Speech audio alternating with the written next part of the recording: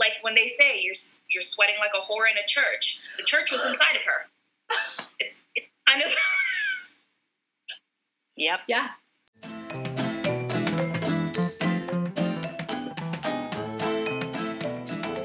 I'm Michelle Rose Dome, and I'm in Dallas, Texas. I'm Carlos Moore, and I'm on Long Island in New York. And I'm Monica Lynn, and I'm in Miami, Florida. And we love classic films. And we're best friends. Yes, and now we're doing the ultimate classic movies vlog just for you. Each week, we give you a behind the scenes breakdown of classic films that only three theater people in love with films can give you. And we are Flick of Time. Yeah! Cheers, my babies. Mwah, mwah, mwah, mwah, mwah. Okay, if you haven't already done so, like and follow us on Instagram and or YouTube. Flick of Time. We go into details of the film, so spoiler alert ahead. If you want to still listen to us and then watch the film, that's totally okay. We're just letting you know. Spoilers. now let's get into this week's topic. Our film, it's a foreign film. It is eight and a half. Woo! A 1963 Italian surrealist comedy drama directed by none other than Federico Fellini, co-scripted by Fellini as well. We have starring in it Marcello Mastroianni, uh, Claudia Cardinale, Anouk Aimée. We have Sandra Milo, and it was distributed by Cineriz in Italy, and then in the U.S. Columbia Pictures. Mhm. In Italian, the title is Otto e Mezzo, and it is pronounced as such. And we mentioned that it was co-scripted by Fellini, uh, Tullio Pinelli, Ennio Flaiano, Flai, Flaiano, there we go, and Brunello Rondi. Help me. It stars Marcello Mastroianni as Guido um, Anselmi, a famous Italian film director who suffers from stifled creativity as he attempts to direct an epic sci-fi film. We can, we've all been there. it is shot in black and white by cinematographer Giovanni Di uh, Venanzo and features a soundtrack by Nino Rota with costume and set designs by Piero Gherardi. What a mouthful. Woo! All the consonants. All the consonants. Our next one's going to be Greek. uh, all right. Fast. right, that's the best tongue twister. All the Italian words. uh, our questions are as follows. First and foremost, ladies, do we think this is an adaptation? Uh-uh. Uh, no. No. No, it is not. No, it is not. According to Italian writer Alberto R. Bassino, Fellini's film used similar artistic procedures and had parallels with Musil's 1930s novel, The Man Without Qualities. So it has some basis on the 1930s novel. However, it was its own original. The basis was also later on the Broadway musical Nine, which class project in Lehman Engel BMI Music Theater Workshop in 1973. So first it was a workshop, then it was later developed, as they do, with a book by Mario Fra- uh, Fratti, and then again with a book by Arthur Kopit. The story is based also on Federico Fellini's semi-autobiographical 1963 film, which is what we get into today and a half. Um, and then later there was the 2003 Broadway revival with Antonio Banderas and Jane Krakowski, who would go on to win Best Performance featuring an actress as well as Best Revival. It's on. Look it up. It's hilarious. It's wonderful. Ah, She's so, so good. good. I- She's so good. I Nailed did it. that. I did her main the air. song. Oh my goodness! I did that song for an audition, and I got the part. Oh. What? Yeah, she did. It's such a good song. Mm. It's so much fun. We're talking about Carlos Solo, Call Yeah. from the Vatican. Yeah. Right, look it up. It's worth your time. It is. All right, as far as clear and captivating plot, yeah, yeah. definitely. uh, the influences of earlier Italian directors, I gotta mention them. We have De Sica, who did Adventures of Pinocchio, as well as Visconti, who is well known for doing Italian theater and opera. These directors would be precursors to that of Fellini. So those were his influences. Huh. So for me, I certainly noticed more operatic at times, more theatrical at times, the cinematography. Agree?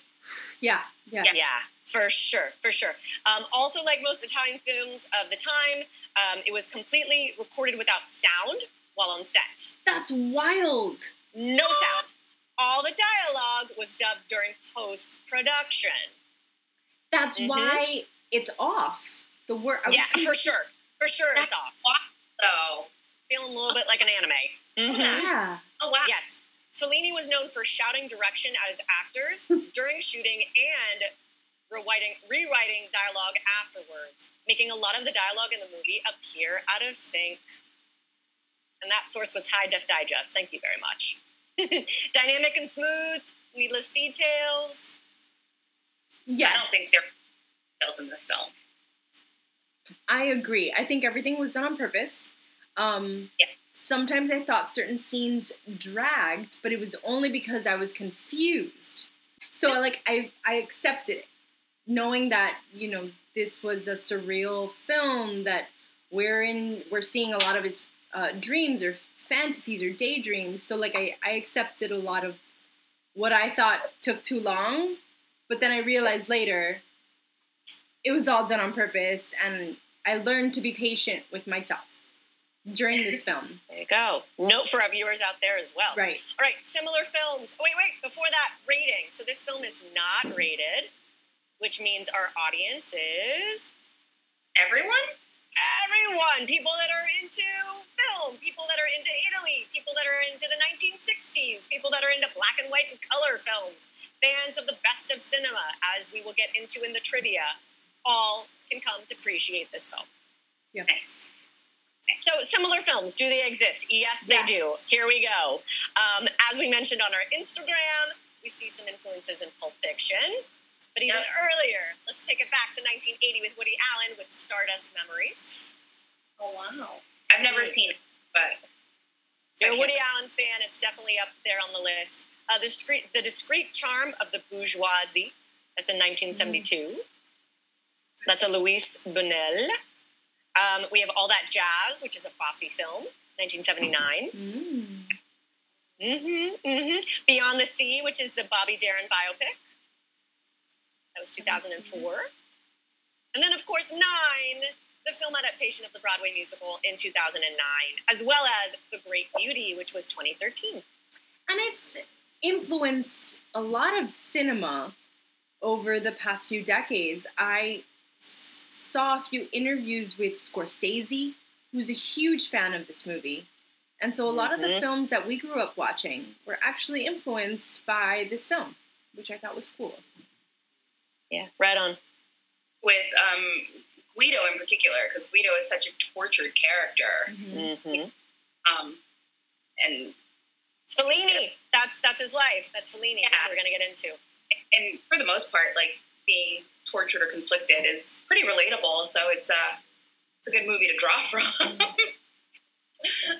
Absolutely. Okay, so our fun facts, our trivia, here we go. Um, the film and release dates. So we're looking at May 9th, 1962 to the 14th of October, 1962. And then it was released in Italy February 13th. And then in the US, June 24th Mm. in that year, 1963. Our filming locations, which we got into on our Instagram. So we discussed the EUR, which is a residential district of Rome, as well as Filacciano, which is a commune in Italia, in Italy, as well as Ostia, as well as Viterbo, as well as Fiumicino, You're getting as really well as good at this. Rome. D- and yet, every time. Red leather, yellow leather. Rome. uh, another, uh, the capital of Lazio, which we'll get into in a second. Uh, Tivoli and Lazio, which would also be the place of Cinecittà Studios, which was their soundstage. So all, o- all over Rome, you want that Italy, you want those beautiful, those beautiful landscapes. Bam, this film got you. So the film's working title was actually La Bella Confusione, which translates to the beautiful confusion. So Monica, you're right there. Yeah. The idea for Eight and a Half actually took years to fully develop in Fellini's imagination. The frustration and absurdity of the process actually informed the film as we know it today, uh, centered around the protagonist, his suffering from writer's block to making the film. So why eight and a half? Why did they Right, choose so- that title? So eight and a half actually references the number of movies that Fellini had directed up until this point. Um, we had six features, two short films, and a co-directed film with Alberto Lattuada. So the total would be eight and a half. Eight and a half. So Yeah. it's the the title itself is autobiographical in nature. Mm-hmm. Because nowhere throughout the film do they ever mention the title. It's never Right. suggested. It's not. There's not like deep exposition. No. So it's his eight and a half film. Yes, Very cool. chronologically, and they Right. rounded up for sake of the Broadway musical and the film. No, nine. Right. Simple. oh!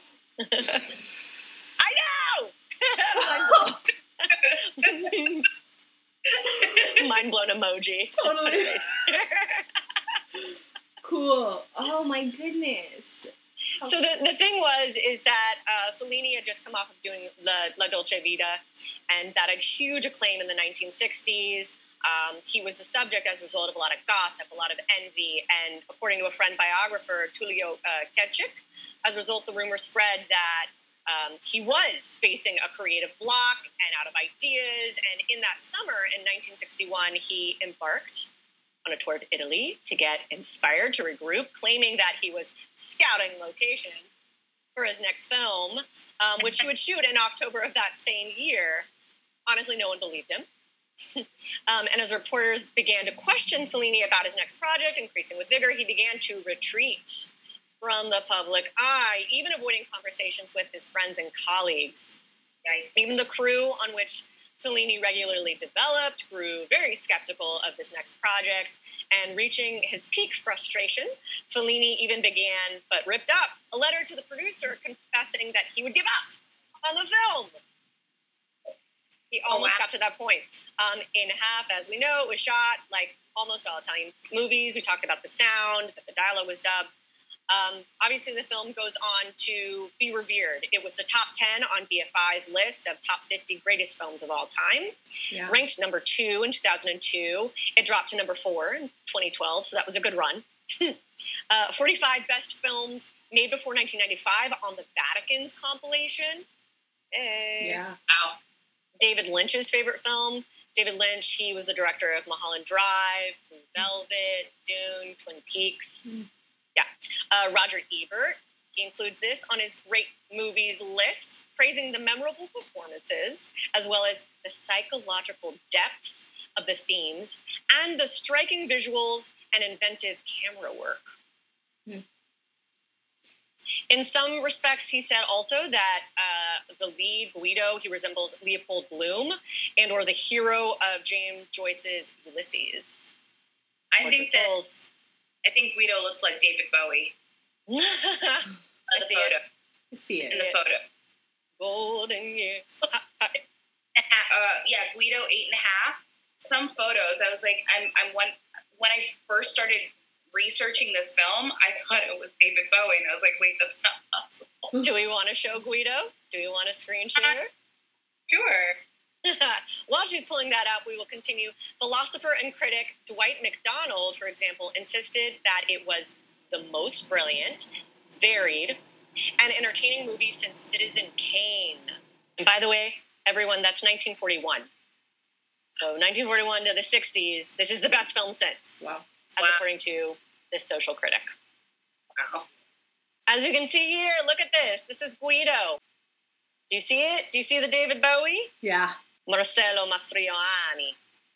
So today, Eight and a Half is often ranked as one of Fellini's best works, and indeed as one of the world's top films of all time. It remains a treasured artifact of Italian and world cinema. So, funny enough, the film, I would say, and we'll we'll get into this more, uh, has for that tone that uh, is very dramatic. Uh, I'm not surprised. Operatic as an influence. Um, Fedra, uh, Fellini, it's noted that he attached a note to himself below the camera's eyepiece, which Yeah. read, "Remember, this is a comedy." Right. I thought that was really, really interesting because Now we can, yes, it didn't it didn't feel like comedy, but they filmed it as such. Correct. Interesting. It didn't feel like a comedy at all. No, no, definitely not. Um, at one point, Fellini wanted to cast Laurence Olivier in the lead role. Whoa. Can you imagine Guido, this guy, as Laurence Olivier? Yeah. I'm Laurence Olivier. All right. I think he was perfectly cast, honestly. I really enjoyed Guido's character. I also have photo a photo of Fellini. Yes. Yes, um, which which brings me to the point in searching for that actor that would play our lead. Um, the the protagonist, Fellini, was actually looking for a human mirror, someone who can reflect his own image. Let's show Fellini.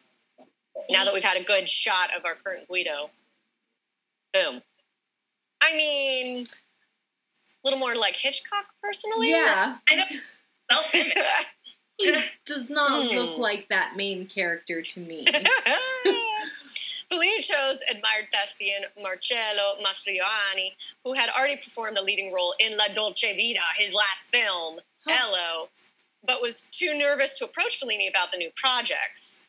Um, so it wasn't as though an actor appealed to the director in this case, as we have past expressed in Sophie's Choice, but rather uh, Fellini just saw his own image in the lead. Despite wow. his timid respect for Fellini, um, said Lee would go on to play roles in four more of his films and is still associated with Fellini's Wow. persona on the big screen today. Mm. So we'll, as we continue to watch Fellini's movies, we'll run into the same actors. Yes, As is common. absolutely. As is very common, you will see posses travel in various films, specifically comedy. But I would say in a lot of films, you tend friends tend to hire friends. They want to work Sure. with their friends. And plus, you know, Uh, you know, you know, you know all that. There's a trust. Yes, exactly. That trust so important. Um, the characters of the film were based on Fellini's colleagues. Mario and Gloria, for example, were based on the film producer Carlo Ponti and his wife, actress Sophia Loren. Ugh, Ugh, he's still gorgeous yeah, Yes, yes. now. yeah. Still so gorgeous. Shout out. Um, so, despite being top credited, Claudia Cardinale has barely some eight minutes of screen time in the whole movie. She was a prominent character. She just wasn't there very much. Yeah, I feel the same way. I feel like Mm. she was an important character. She Right. was almost a hovering ghost in a sense. Yeah. Was- Right. Yeah. Um, a note to Fellini: he was well known for working without a stable finished screenplay. At one point during pre-production, he had completely forgot what his next work would have been about. His original idea had completely gone. So while he was set to communicate to the movie producer Angelo Rizzolo, Rizzoli, excuse me, his intention of abandoning the project, Fellini was invited to the birthday party of a head camera operator of Cinecittà all of a sudden, during the celebration, he got a new idea. His film would have told about a film director who was going to direct a film, but he forgot what it was about. That's I interesting. I don't think it's common to work in that process nowadays. Not at all. Not at all. But it was well known with Fellini. If you're going to work for Fellini, you got to be willing to roll with that. Right. Pun Wow. intended. During the rehearsal scene, the love theme from The Godfather can be heard on the piano. The music for In a Half was composed by Nino Rota, who composed the music for The Godfather, among numerous other films. How about that? That's awesome. I wonder what song that was. Mm-hmm. Okay, Because of a strike. Oh, go ahead. I've never seen The Godfather. If you see it, I don't know that I would recommend the third. I'm of that cloth. It's awful. Just watch one and two and you're fine. Really? Wow. Yeah, three suck. Sorry, I said it. Three's awful. awful. awful. you heard it here first about the third. Sorry, Godfather creators. May they rest if they're still around. You know, we said what we said. First, but Because of a strike at the development and print lab at Cinecittà during post production, uh, Fellini was unable to check the daily shoots, or the dailies as we call them. He reportedly never took vision of the filmed material until the movie editing phase. Whoa. It's a lot of trust. Yeah. Wow. He never saw the dailies? Never. That's That is crazy. Part of the process. Everyone has their process. True. Uh, originally, the famous ending of the film was shot with the intention of using it in the film's trailer. What? Oh, Not wow. in the film, just in the Mm. trailer. Just in the trailer, but No. they loved it so much. I wonder what part. Was it the part where he's under the table and he has the gun? The, end, the parade. The parade. and they're walking in a, they're walking Yes. around Yes. Louis circle. hmm Yeah. The film was so popular, in fact, that one company wanted to mass produce the black hat that Guido wears. Cool. They should have. Yeah, man. and that'll do it for our trivia. If you want to know more trivia, check out our Instagram, Flick of Time. Mm-hmm. and now, onward, we march in getting into our favorite scenes, quotes. What stood out for you? So the movie starts with a very quiet minute.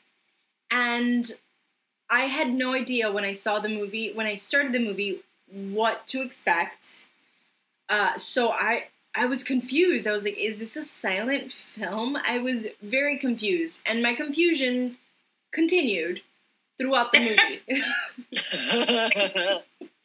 I was I, I don't think even Bellini knew what he was doing. He was like flying by the seat of his pants, like, sure, yeah, looks Sure. good, great. I don't know. It gave off that impression though. Yeah.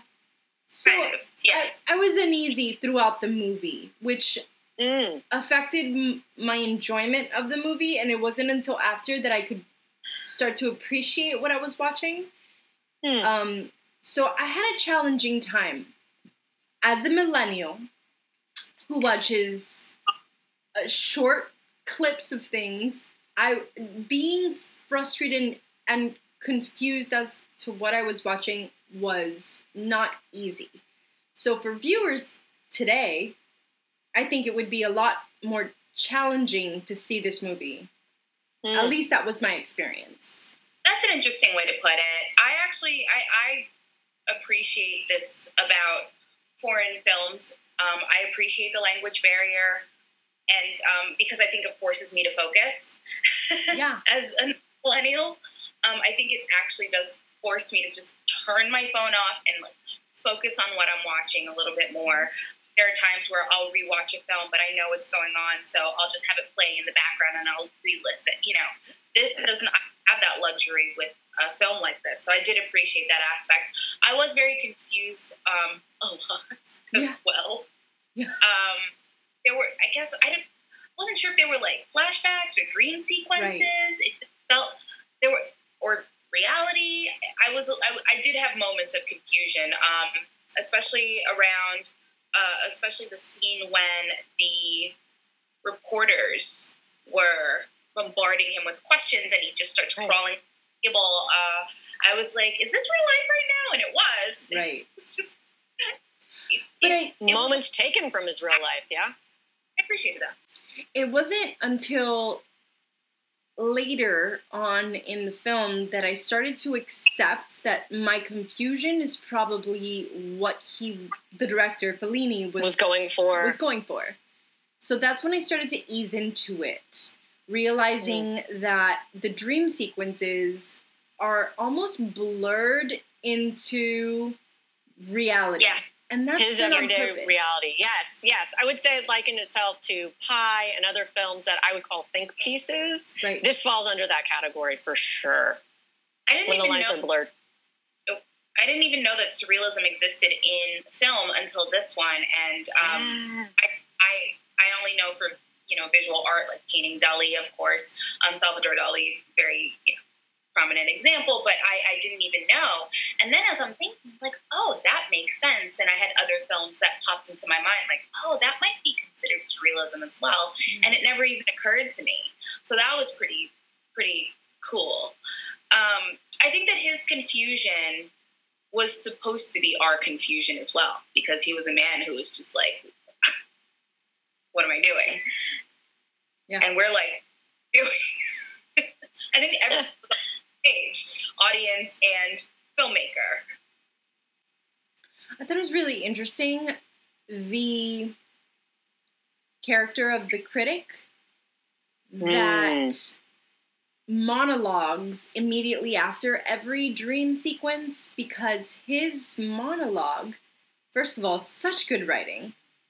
Yes. Uh, I love that there's just too many good quotes from from those monologues in specific. That one character, uh, and I think it's a reflection of Fellini's inner monologue as director, and maybe Right. Guido, his inner monologue as also director in the movie within a movie or the making of a movie, right? Sure. Um, and so oh. I, I thought that was really, really cool how they add introspection from the director, and you can tell he's talking about his own process as director. It was really, really cool the way he did that. and that was actually touched on in our Instagram page. Um, one of the posts was, you know, the artist is their own worst critic. Um, so um, it does touch on that. It's a true Um, sentiment. That's so relatable.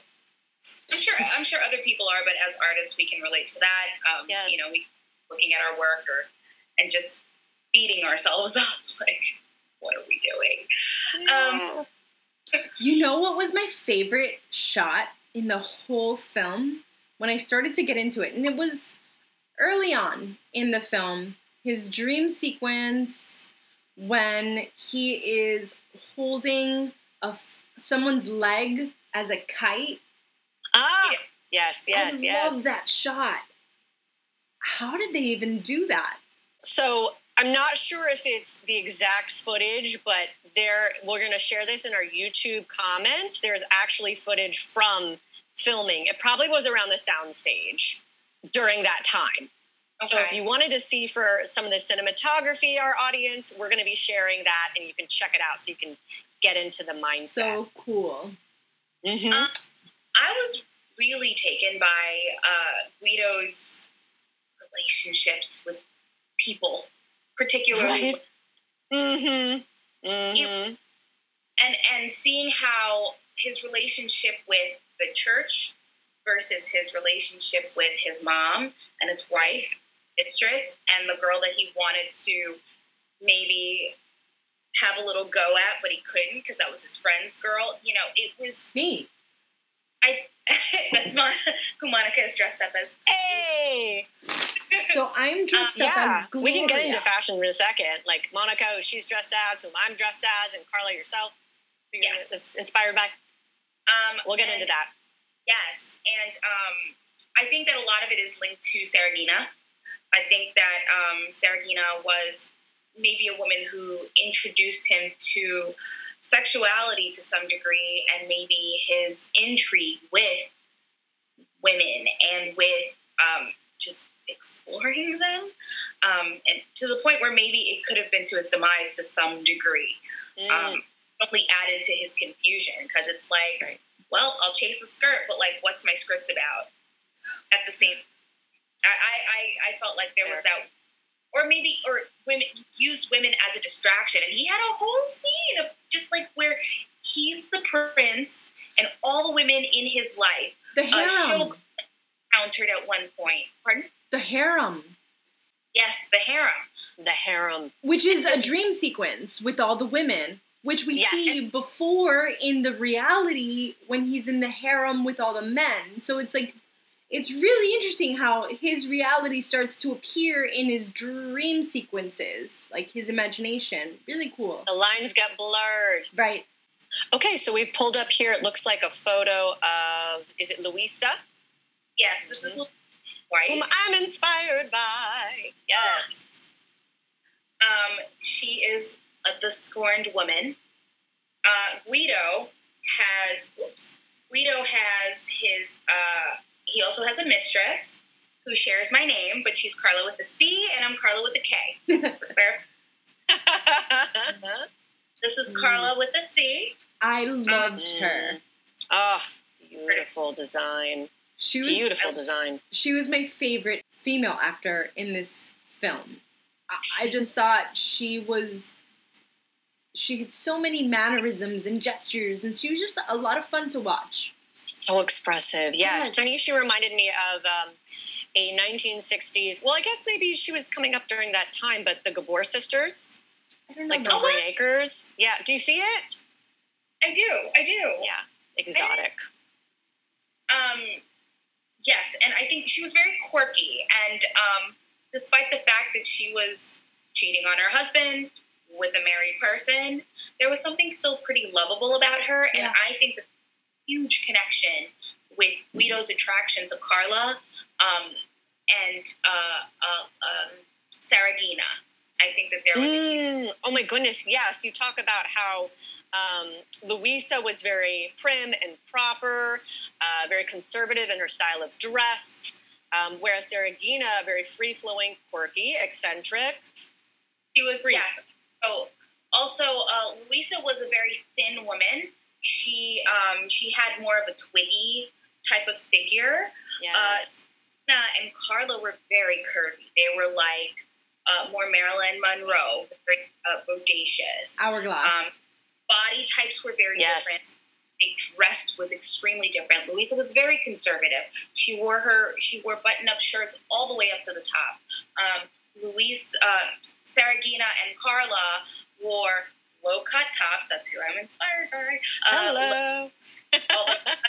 as these ladies, but um, but they, you know, they would wear the form-fitting clothes, something a little loud. Like uh, Carla was a little loud in her style, in my opinion. Yes. Yes. Hers, she wore, as you can see, the fur hats, the fascinators, the you know, all that. And Saraghina, she would wear the form-fitting dress. It was all ripped up, um, but you could still see her thick, curvy figure. I would say the trade off to the, the curves would be the intellectualism that Luisa would bring to the table. Like, Guido was a complicated character, uh, not just, uh, uh, you know, after the one thing, even though the film would lead us to believe otherwise. He, in fact, enjoyed for that of intellectual, stimulating conversation. I think that's Right. where Luisa came through. Or- Um, yes, Luisa. Mhm. The character that Monica, um, oops, character that Monica was inspired by, this lovely lady right here. Hmm. Seductive. She was, but I, she was a flirt, and I think she knew what she was doing. She was a smart girl. She was a very smart girl. We got into it in a past episode, the idea of femme fatale. Ooh. Yeah. Yes. I see that. Yeah. She's bad girl. hmm She is, but she's and she's very intellectual. She's highly actually she's kind of a combination if you think about it, right? She was Mhm. writing her thesis. She she mentions. So Mhm. she's oh Guido. That's probably the appeal with her. She's um Guido loved Luisa because of her because she was intellectual. She was smart. She was more conservative. She was the type of girl you could probably take home to mother. Um, Hello.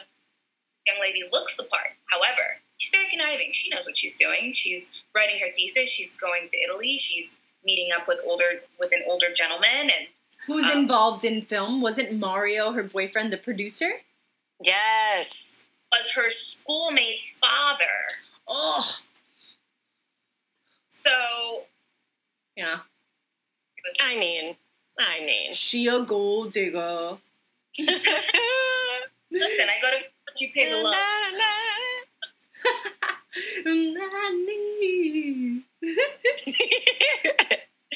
And what I love her. Saraghina? I love- so Saraghina. yes, Saraghina. Yes. Oh, with that tapestry, that like that that free flowing curtain before So the this- ocean. This was shown the second time we saw her in the film, not the first. I thought it was a flashback because it would show baby Guido or younger Guido meeting up with the boys on the beach to see Saraghina dance for and then he was caught and taken and punished. Yes. Is that This what was happened? Yes. Yeah. Yes. Yes. and and actually nine. That's that's where they took the story adaptation as well. Is that that was his early on exposure to sexuality, hmm Ah, formative coming of age. I see. And And also keep in mind, take a look. I'm going to try to do a super zoom in of Saraghina's eyes. Woo! Look at her eyebrows. Oh my goodness. Ooh. For this, Such a Guido- rock star. where Guido Is that is a- with like a triangle. make a whore face, and he drew her eyebrows up. Those are Mhm. her eyebrows. That's her slutty. Yes. Those are her. Which is what- s- I say that Guido The was parallel. highly. That's the parallel. Yeah.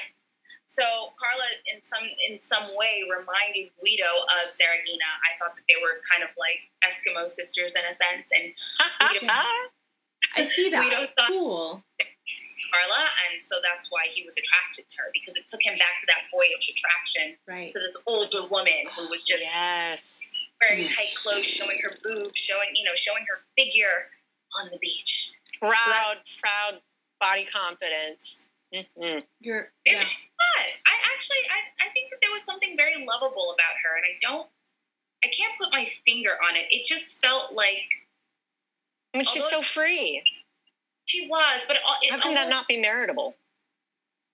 true? She was True, maternal in a sense, even though they sexualize her a little. Uh, she was maternal because she's. I don't. That's- Mm. I think that I think that they misread her, and um, we saw her, or the way that it was filmed was, was um, that we saw her in a very sexy way. But I did not feel like like he would say, "Talk to me like a whore," but or give me look at or make that whore face. I did not think she was a whore at all, like at all. Whatever you know a person's definition of that is. I didn't think of her that way. I thought she loved doing something to make these kids laugh. Yeah.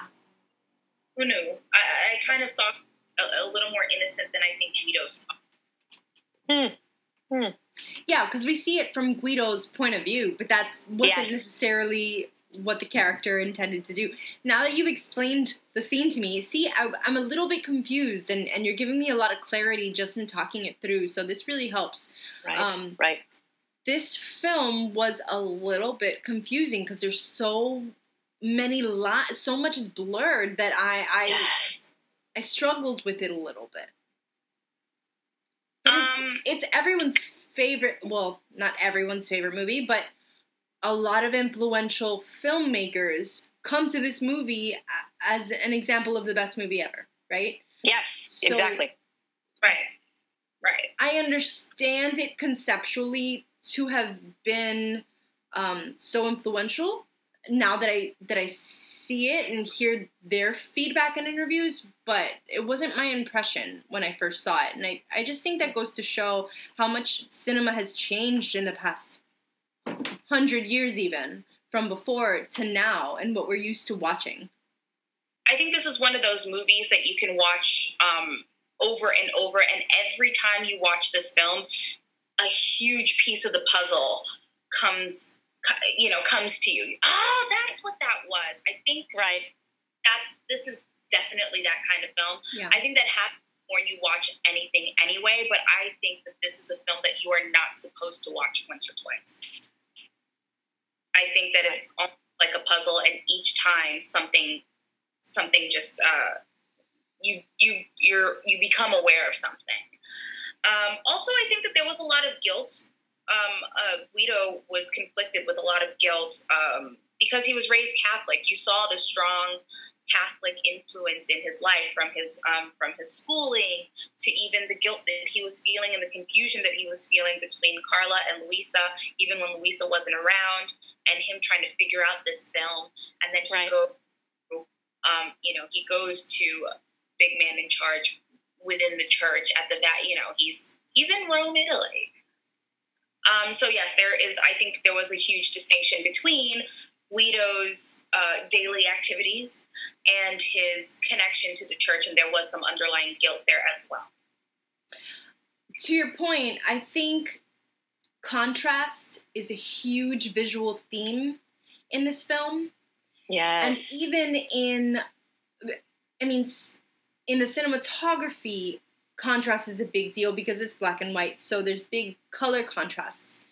Uh, but also thematically, because you're speaking about the Pope and his relationship to Catholicism, there's this one scene towards the end. The critic is telling him Catholicism is too serious for you to be uh, uh, making jokes about it. But then simultaneously, you hear the table in back of them, which has the Pope sitting on the table, and the Pope starts making jokes about communism.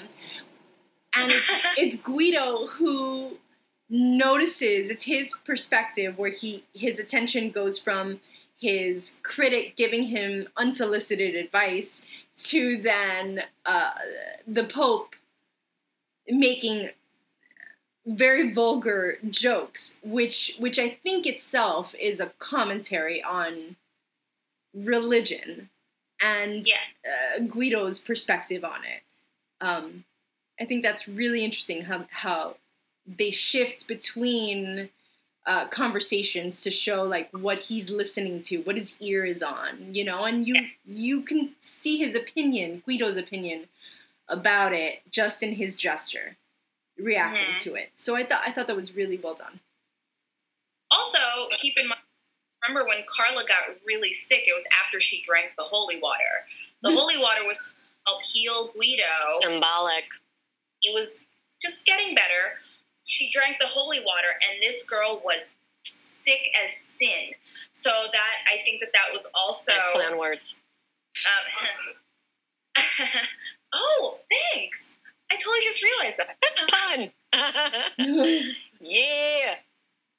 but she was super sick and i wonder if that has to if that reflected uh, the fact that she was not not necessarily a bad woman but maybe a woman who was not pure in intention in Right. actions and the water the holy water knew and so maybe it was purging her of Right. her Her You know, fever, her fever is is sin being sweated sweating out. out your sinful tendencies. You know, like when they say you're you're sweating like a whore in a church. The church was inside of her.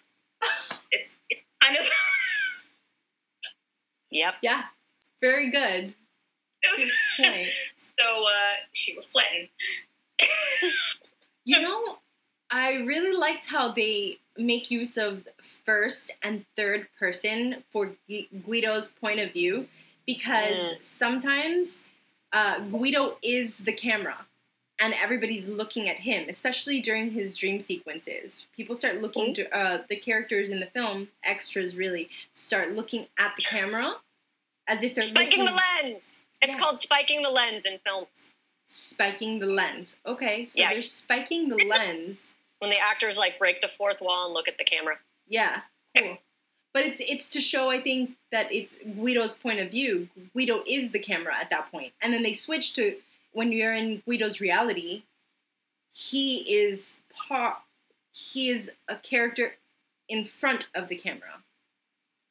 I thought that was really interesting how they shift back and forth. Um, also, one thing that really stood out to me, and I thought it was so beautifully done, was just playing with shadows and lighting. Yes. When Contrast. Guido was in the car with Claudia, and all you see are his eyes, just like everything else is shadowed out. I was Gorgeous. captivated. Yeah. Yeah, right. It's Really, almost really- as though if they would have left certain sound out, I wouldn't complain. I wouldn't be mad about it. Yeah. Right? Exactly. The cinematography, Beautiful. Just the gorgeous. With light and dark and white and black.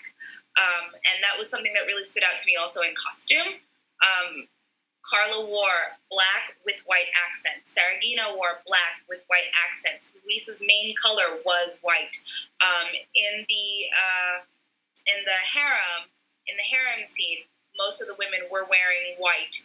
Um, so uh, and and just seeing how they're playing back and forth between parts of his life um, that he's flashing back to or remembering and seeing what the, what color they're wearing, uh, seeing whether they're wearing black or white. And then in the end of the film, everybody is wearing white. Right. It's almost he's finally broken free from whatever Yes. sin was inside of him throughout the film.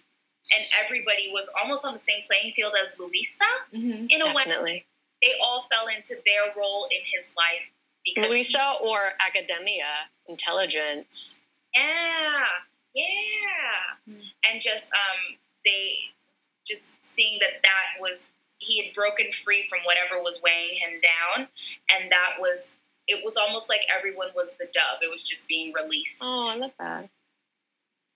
It was. I thought it was beautiful. I thought it was really well done. So he used white to show purity, holiness, um, academia, like you said.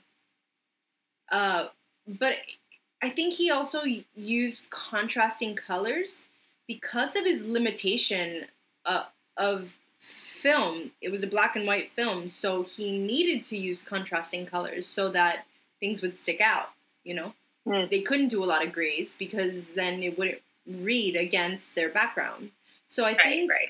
Uh, logistically, it was done really well, but then thematically, it was also done really well. Just like you said, it was in the costumes. It, it meant something for their costumes to be a certain color, which I think was really cool considering it's a black and white film, and you can only do black, white, and gray. Right. That's all you can play with. I, I think, and of sure. course, um, but but Claudia, for example, in his mind, before he met up with her, she was always wearing white, and then when he finally met her, she was wearing black. That is so intentional. Good catch. Huh. So, intentional. Yeah. You know when he's when he has these like when he was imagining Claudia in the slip dress in his hotel room and she is it's all white and then when he finally says oh let's get this actress and he finally goes for a drive with her her whole outfit from head to toe is all black and so it's now going from what I would imagine or what I would hope that you are to the reality and the reality is never as pretty as what I imagine. Mm it's always a little darker. Painful and so realism. It's it's painful realism. It's like painful to watch his his own struggle and confusion. It, it, the film was hard to watch for me. Like in seeing his first of all trying to understand what's going on because of this absurdist um, powerful imagery, but then also right. as you get to know the main character, he's going through the same struggle that you are as a viewer right. of the film, which I thought was really interesting. You know what? You know how I um I, I don't remember who I was speaking to somebody about this film, and um, the way that I described Guido's um, idea of Claudia, it's like when you're a kid and you think that a person, a, a an idol, a parent, whoever, someone you look up to, is perfect. And then as you get older, you just realize that they are just as human as the next guy or as you.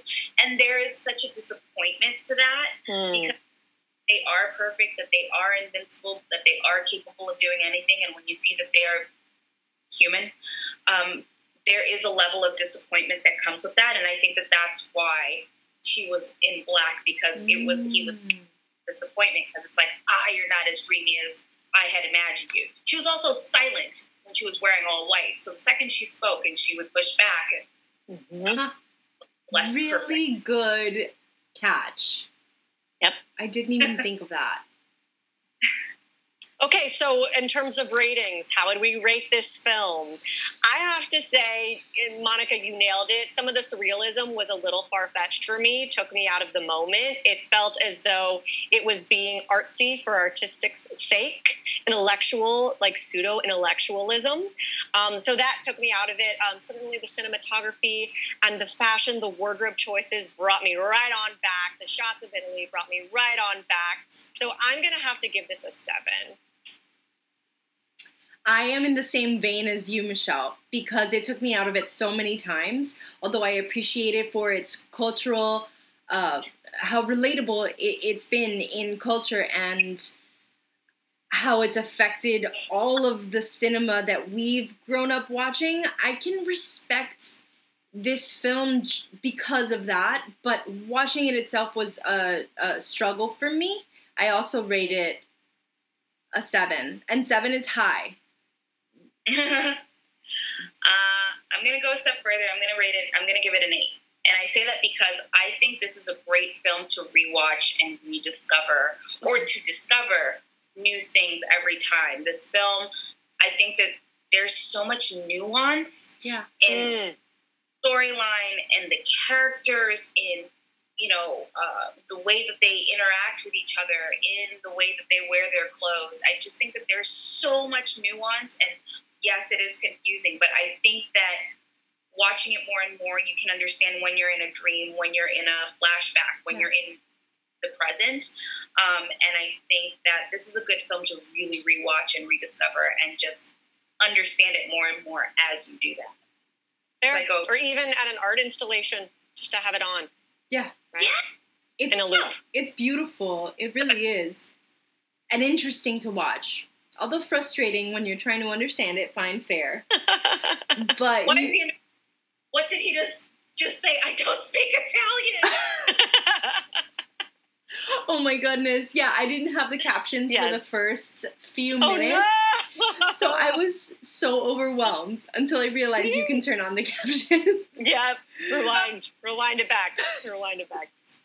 I did a lot of pausing and rewatching because Yes. So this movie is about two hours and 20 minutes, I think it is, the running time. Mhm. But for me, Mm. it took me a lot longer, maybe like three, three and a half hours to get through it, just for the sake Mhm. of understanding it and appreciating it. There's a lot to Yeah. take in. Bear that in Yeah. mind, our audience. That's one of the reasons why I think it is a good rewatch. There is so much to digest, and maybe there's, I think maybe the language barrier could be a factor as well. But um, yeah, I have a retro rewind. Yes! A retro rewind, our dear listeners, our viewers, is when there is something to the technology that occurs in the storyline that has since, in today's modern time, been revolutionized. An example of that might be a fax machine, writing letters to now emails, and so on. And in this film, there are two retro rewinds that I thought were important Two to name. them! Two of them.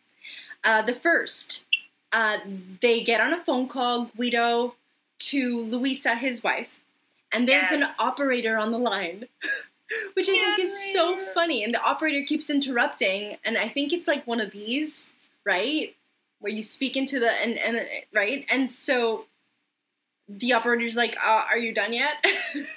and can you even imagine somebody on your phone call timing you? Or your phone call being of a certain length? Uh, or eavesdrop.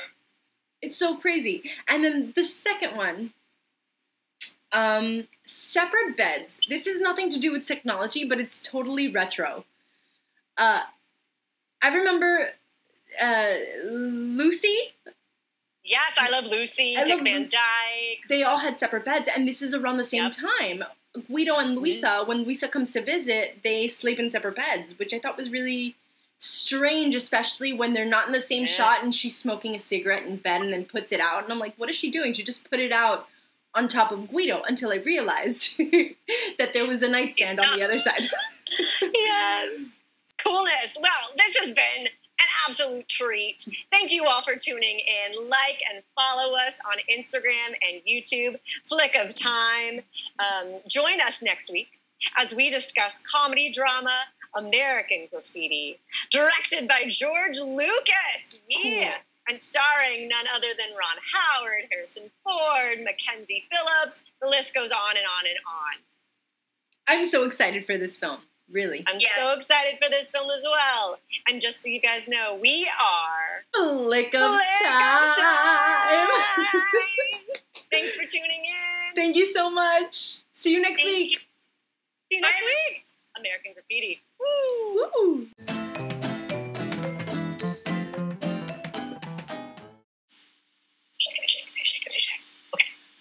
Okay. Three, two,